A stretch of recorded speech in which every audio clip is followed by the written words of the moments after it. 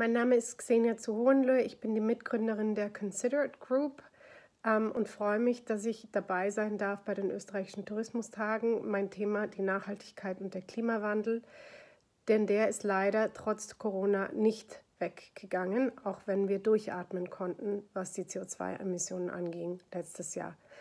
Wie halten wir den Fokus auf dieses Thema, auch wenn wir in der Tourismusbranche äh, sehr davon betroffen sind, wie wir wieder aufmachen nach dieser Pandemie.